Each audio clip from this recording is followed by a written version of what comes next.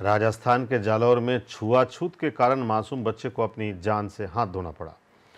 भारतीय वाल्मीकि संगठन के कार्यकर्ताओं ने सोमवार को लघु सचिवालय के सामने प्रदर्शन कर जिला उपायुक्त के माध्यम से प्रधानमंत्री के नाम ज्ञापन सौंपा है।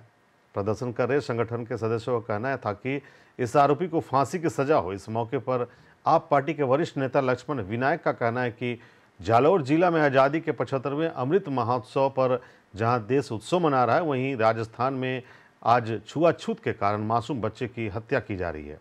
हम सभी इसका विरोध करते हैं। इन्होंने कहा कि जालौर ज़िले के सरस्वती विद्यालय में एक दलित बच्चे ने एक पानी के मटके को छू लिया और उसको छूने की सजा अपनी जान देकर चुकानी पड़ी।